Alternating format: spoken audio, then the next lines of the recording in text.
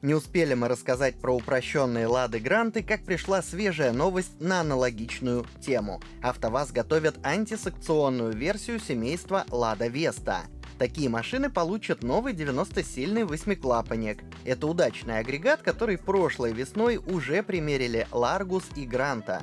Несмотря на скромную отдачу, мотор отличается почти дизельной тягой на низких оборотах. Другие плюсы — небольшая масса и глубокая локализация. При этом, как показали реальные измерения, при разгоне до 60 км в час восьмиклапанная Гранта совершенно не уступает 16-клапанной, а при спурте до сотни проигрыш составляет лишь около секунды. А еще восьмиклапанник удешевляет автомобиль. По российским законам за двигатели слабее 90 лошадиных сил производитель не платит ничего, а вот за более мощные – акциз по 53 рубля за каждую лошадиную силу. И так с каждого собранного агрегата.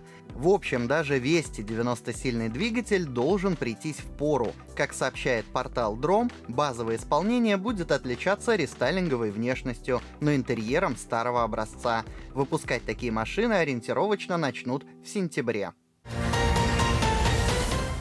Не каждый знает, но среди сборочных площадок, где выпускаются лады, есть завод в Джизакской области Узбекистана. Там методом крупноузловой сборки делают Весты, Ларгусы, а также X-Ray. Объем производства невелик. В прошлом году узбекский рынок принял лишь около шести сотен автомобилей, но план этого уже четыре с половиной тысячи единиц. При таких скромных показателях АвтоВАЗ вдруг запланировал внедрение полного цикла. При этом, помимо сварки и окраски кузовов, российский автогигант всерьез рассчитывает наладить локальный выпуск комплектующих. Конечно, есть вероятность, что АвтоВАЗ подобным образом подыскивает нейтральную страну, чтобы обходить санкции. Но даже если такие предположения верны, вслух об этом никто никогда не скажет.